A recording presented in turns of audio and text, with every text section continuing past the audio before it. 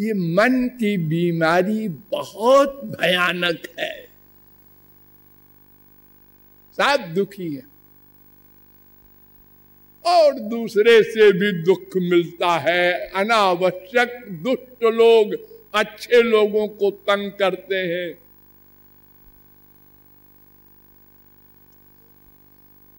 और सर्दी, गर्मी, जाड़ा आदि का भी कष्ट ये तमाम प्रकार के कष्ट और पाँच कोष भी होते उनको भी पार करना पड़ेगा, तब आनंद मिलेगा। अन्नमय कोष।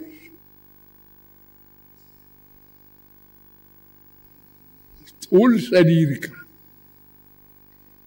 और सूक्ष्म शरीर में तीन कोष होते हैं। प्राणमय कोष, पाँच प्राण, चार कर्मेंद्रिय।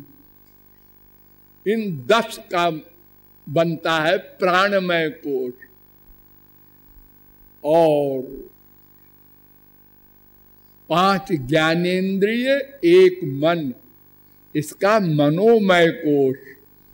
और पाँच ज्ञानेन्द्रिय, एक बुद्धि, इसका विज्ञानमय कोष।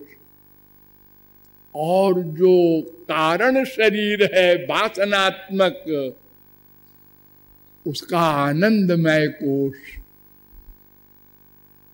बड़ी बड़ी बातें हैं, लंबी चौड़ी। आप ये समझिए कि इतने सारे दुख मिलते हैं प्रेयवादी को। भौतिकवादी को, शरीरात्मवादी को, जो अपने को शरीर मानता है, उसको। कहने के लिए करोड़ों बाद हैं, चल रहे हैं, चलेंगे। रोज नए नए बनेंगे, लेकिन वो सब इसी दो के अंदर है। Treasure house of living religions एक बहुत बड़े विदेशी फिलासफर का बड़ा भारी ग्रंथ है। अर्नेस्ट हुम ने लिखा है। उन्होंने ग्यारह धर्म बताए हैं। द ऑफ़ बाइबल्स में फ्रैंक एल रिले ने भी ग्यारह धर्म बताए हैं। उसमें आठ तो हमारी इंडिया में और तीन बाहर हैं। चीन में ताओ धर्म और कन्फ्यूशियन धर्म। जापान में शिंतो धर्म और बाकी आठ इंडिया में। हिंदू धर्म, सिख धर्म, ईसाई धर्म, पारसी धर्म, यहूदी धर्म।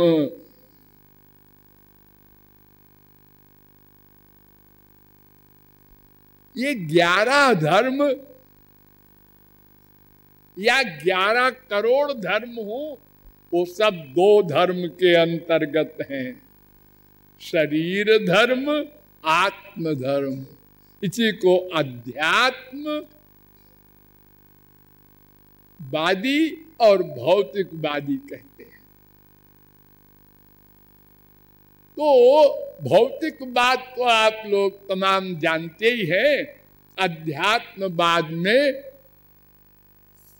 मैं तत्व के विषय में आप लोगों को बताया गया, वेदों, शास्त्रों, पुराणों के द्वारा ये भगवान की शक्ति है, भगवान का अंश है, भगवान से इसका भेदा भेद संबंध है और तटस्थ शक्ति है और अणु है। सर्वव्यापक नहीं है।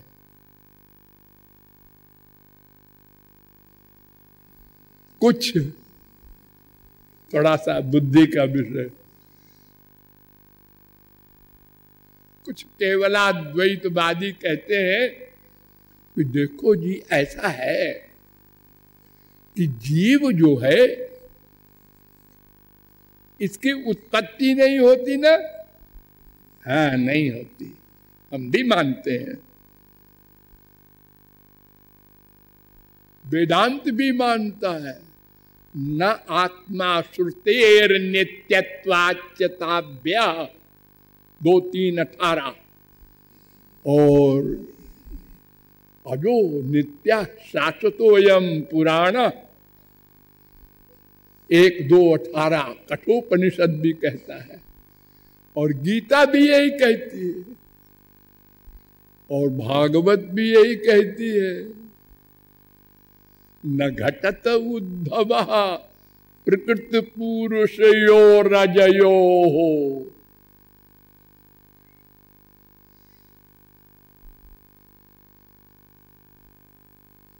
प्रकृतिम पुरुषंच विद्यनादि।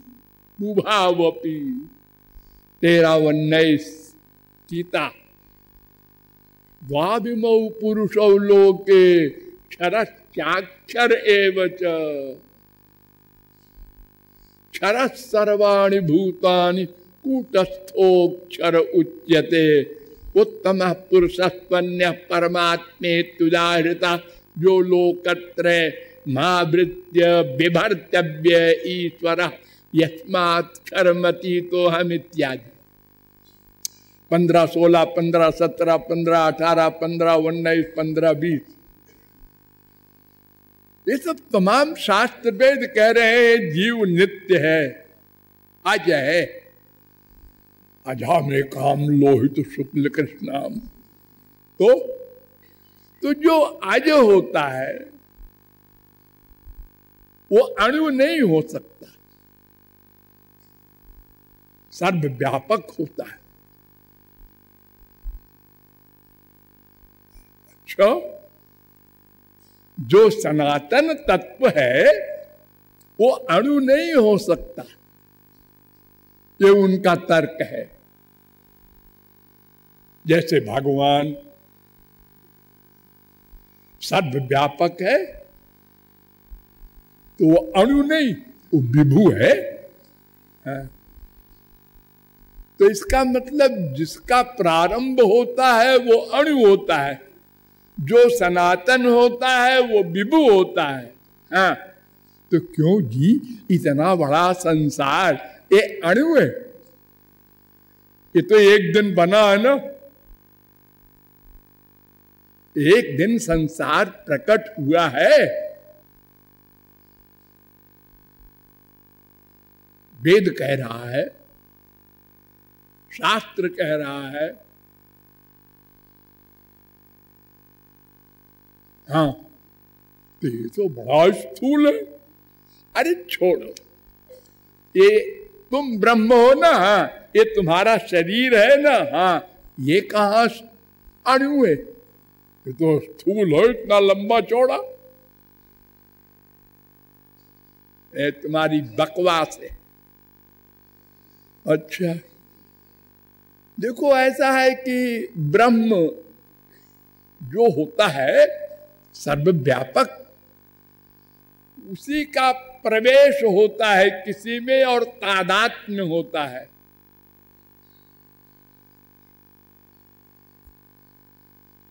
तो जीव का भी प्रवेश होता है, तादात में होता है, इस शरीर से। शरीर मभिसंपद्यमान सवायम पुरुषो जायमान। शरीर अभिसंपद्यमान। चार, तीन, आठ। बृहदारण्य को उपनिषद। इसलिए ये पॉइंट भी तुम्हारा गलत।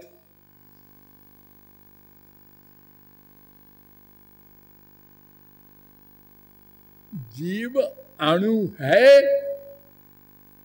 ये अनुभव भी तो कहता है।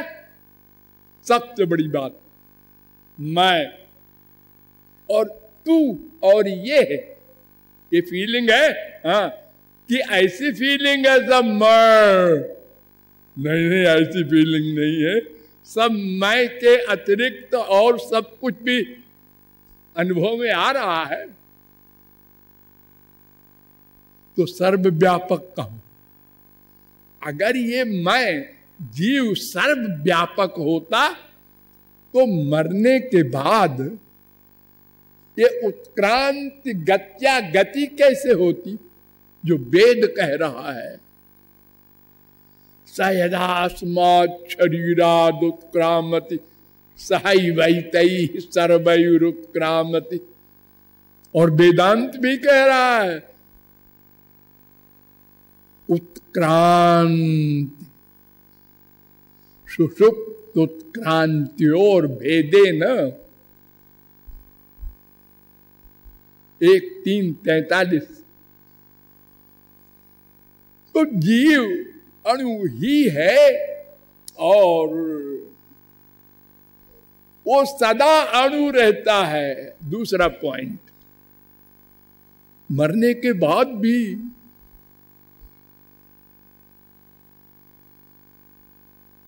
कभी विभू नहीं होता। और बताएँ, ये अद्वैतवादियों के नेता जगत गुरु शंकराचार्य ने भी मान लिया। कि सर्व व्यापक नहीं होता। जीव क्यों? मुक्ता अपि ही लीलया विग्रह कृत्वा भजनते। मुक्त होने वाले, माने ब्रह्म बन जाने वाले फिर जन्म लेकर के और श्री कृष्ण की भक्ति करते हैं। तो क्यों जी अगर जीव सर्व व्यापक है तो फिर मरने के बाद ब्रह्म हो गया ना? हाँ जैसे एक घड़ा है, इस घड़े के अंदर एक आकाश है, खाली जगह है। तो आप कहते हैं कि जब घड़ा फूट गया तो ये महाकाश हो गया। मैंने इस आकाश में मिल गया, एक हो गया, ये आकाश बन गया। ऐसे ही जब ज्ञान हो गया तो जीव ब्रह्म हो गया। तो ब्रह्म हो गया तो यही वो समवलीयंत यहीं पर लीन हो गया। कहीं गया वया नहीं, क्योंकि एक ब्रह्म तो था, वही एक ब्रह्म हो गया। तो फिर ये मुक्ता, आप कैसे बोल रहे हैं अपनी उपनिषद के भाष्य में? और वेद भी कहता है, मुक्ता हेनम उपासते। और असल में तो मुक्त ही उपासना ही करेगा। बद्ध क्या उपासना करेगा? अरे बद्ध तो उसके पास गए नहीं अभी। वो भजन क्या करेगा? भजन माने सेवा। भज सेवायाम धातु है। भज इतेश वै धातु सेवायाम परिकीर्तिता। तस्मात सेवा बुधई प्रोक्ता। वेद व्यास कह रहे हैं और पाणिनि व्याकरण भी यही कहता है, भज सेवायाम। तो जब कोई सेव्य मिलेगा तभी तो हम सेवा करेंगे। तो भगवत प्राप्ति के बाद ही जीव गोलोक में भगवान की सेवा करता है। उसके पहले तो पत्थर की सेवा कर ले मंदिर में। भगवान कहा मिलेंगे उसको? वो तो भक्ति के बाद जब भगवत प्राप्ति होगी, तब सेवा प्रारंभ होगी। तो भगवान को प्राप्त कर लेने वाला विभू नहीं हो जाता। आनंदी भवत वेद कहता है बार बार तैतरीयोपनिषद दो सात रसगम हेवायम लब्धवा नंदी भवती। कठ रुद्रोपनिषद भी कहता है रसम प्राप्त सुखी भवती। वो ब्रह्म नहीं हो जाता। सोष्णुते सर्वान कामान सह ब्रह्मणा विपचिता वेद कह रहा है। दो एक तैतरीयोपनिषद ब्रह्म के साथ सह ब्रह्मणा, वो आनंद का अनुभव करता है गोलोक में। ब्रह्म नहीं बन जाता।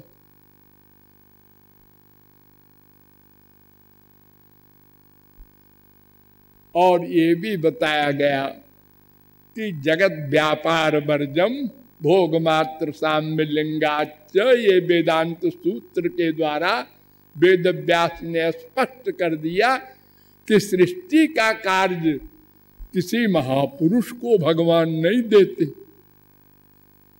हाँ अपना ज्ञान दे देंगे, अपना आनंद दे देंगे, लेकिन सृष्टि स्वयं करते हैं। लोगों के हृदय में एक एक रूप से स्वयं बैठते हैं। अनंत जन्मों के कर्मों का हिसाब और फल स्वयं देते हैं और वर्तमान का हिसाब किताब रखना स्वयं करते हैं। ये किसी महापुरुष को नहीं देते। ये अंतर भी है। तो अगर वो ब्रह्म हो जाता तो फिर तो सब बात खत्म हो जाती। तो ऐसा नहीं है और बहुत से तो अद्वैती ऐसे हैं, वो कहते हैं कि हमारा जो ब्रह्म है, उसके कोई शक्ति भक्ति नहीं है। इतने सारे मंत्र वेद के सगुण और शक्ति वाचक गुणवाचक।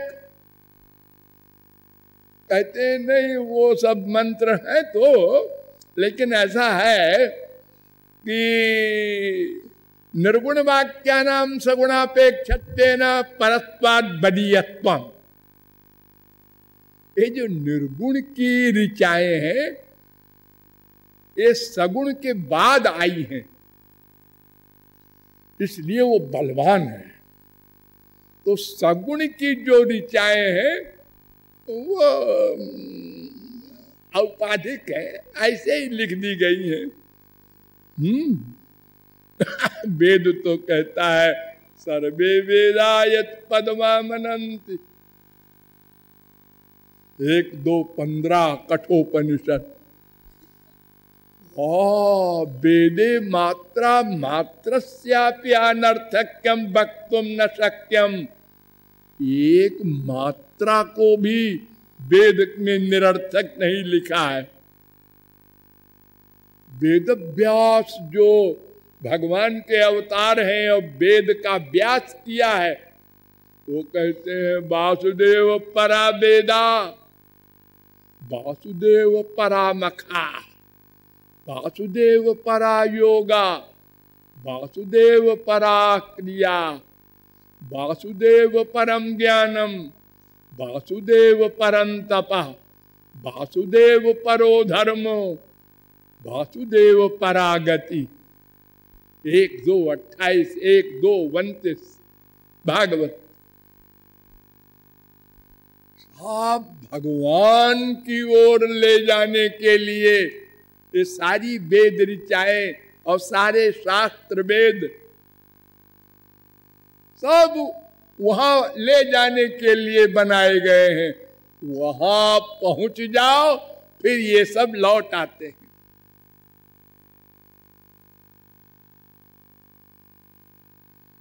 गुणातीत स्थित प्रज्ञो विष्णु भक्त कथ्यते एक कृतकृत्यत्वात्। शास्त्र मसमान निवर्तते ये सब भगवान से मिला करके वापस लौट आते हैं। फिर उसके ऊपर इनका कानून लागू नहीं होता। ब्रह्मविद श्रुति मूर्धनी। ये वेद के मस्तक पर पैर रखकर चलते हैं, महापुरुष।